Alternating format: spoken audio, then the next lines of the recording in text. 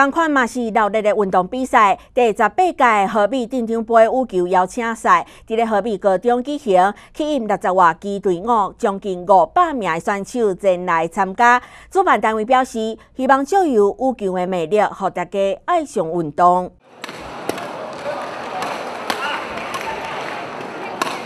第十八届河北镇长杯邀请赛伫河北高中开打，今年总共吸引超过六十支的队伍，将近五百名选手参加比赛。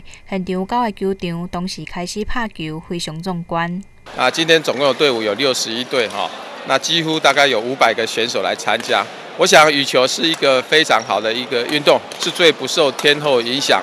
而且呢，啊，这个可以以球会友，我想有机会的话呢，大家要多多的来参与的运动。那在此也是代表阮镇长啊，这个欢迎大家来参与我们这一次的盛会。公司主任秘书叶炳模是河北羽球会创会会员，只要有时间，拢会到河北高中甲球友练球。但是最近因为公务较无闲，赶袂赴透早练球时间，但是会利用跑步、骑脚踏车来锻炼体力。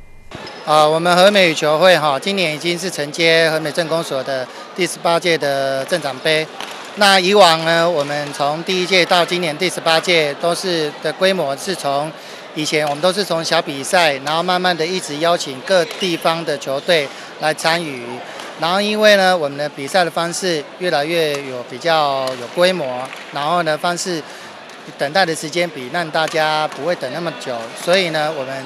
有兴趣都是来打羽球的人，就是假贺到小博啦，来来参与我们今年的和美镇长杯的羽球会。河北羽球运动深近多年，拍球的人口不断增加，比赛也愈办愈规模。有警会会长表示，河北羽球会逐天透早六点半到七点半，固定落伫河北高中拍球。有兴趣的民众会当到河北羽球会脸书看卖。多中华新闻叶宏武河北采访报道。